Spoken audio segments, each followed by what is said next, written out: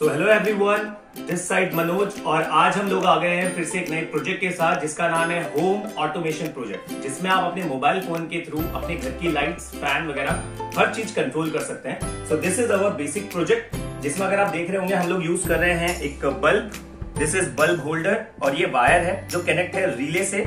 This is our Arduino Uno और यहाँ पे जो हम यूज़ कर रहे हैं डिवाइस वो है ब्लूटूथ मॉड्यूल जिसे आप मोबाइल से कंट्रोल कर सकते हैं। और दिस इज़ पावर बैंक जो 5 वोल्ट की सप्लाई दे रहा है आर्डिनो को। तो यहाँ पे कैसे काम करता है? It's too simple guys this is an application जिसमें आप ब्लूटूथ मॉड्यूल को कंट्रोल कर सकते हैं। तो जैसे हम इसमें वन दबाते हैं, बल्ब ऑन हो जाएगा।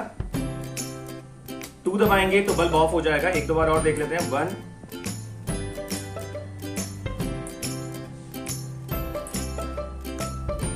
सो बेसिकली इस प्रोजेक्ट का मेन मोटिव ये है कि आप अपने घर को ऑटोमेटिक कैसे बना सकते हैं होम ऑटोमेशन कैसे कर सकते हैं, सारी चीज़ें मोबाइल फ़ोन से कैसे कंट्रोल कर सकते हैं। So I hope you like that project guys thank you so much